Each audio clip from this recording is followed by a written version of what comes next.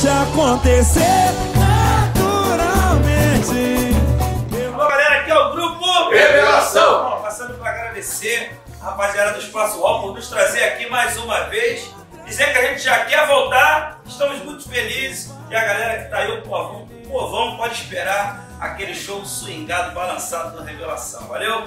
Tamo junto e até a próxima, se Deus quiser. Rapaziada,